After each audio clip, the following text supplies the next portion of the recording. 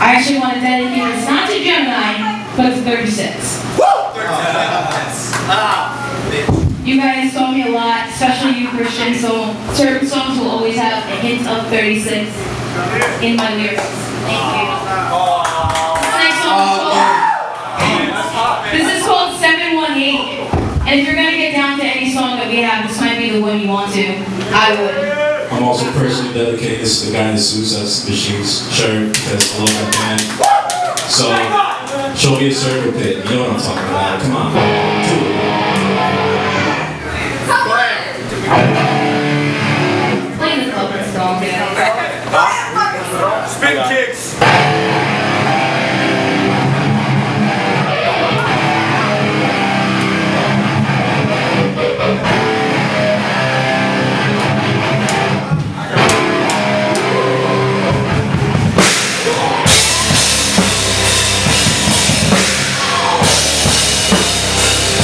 Thank you.